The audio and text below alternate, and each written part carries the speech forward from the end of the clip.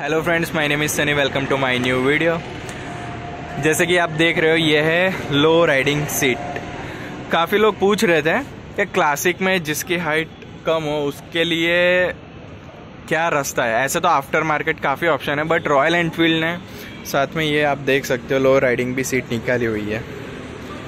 अगर seat height की बात करें तो जो रेगुलर सीट है, उसके बीच में ये देख सकते हो, इसकी जो लेंथ है, ये हाइट ये तकरीबन तीन से साढ़े तीन इंच है और जो इसकी है, ये दो इंच के आसपास की है। ये सीट अगर आप लगवाते हो तो इसके बाद आपकी हाइट तकरीबन डेढ़ से एक डेढ़ से पौने दो इंच जितनी हाइट और सीट की डाउन हो जाएगी। आपको ये दोनों के बीच में फ़र्क तो पता लग ही रहा होगा। साथ ही में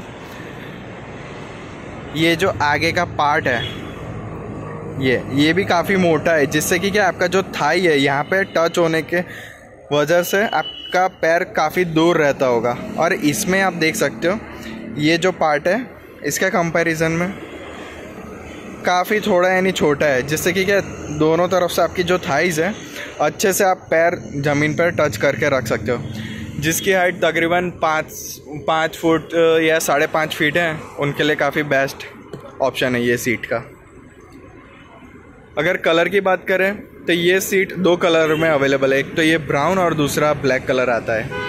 वैसे ये जो ब्राउन है, ये आपको पता होगा हेल्चन ग्रीन है, फिर, दूसरा gun metal grey and marsh grey और साथ में आप लोगों को पता होगा, जो सिग्नल्स में, जो सैंड कलर है, उसमें भी यही सीट का कलर है। उसमें आप ये डलवा सकते हो।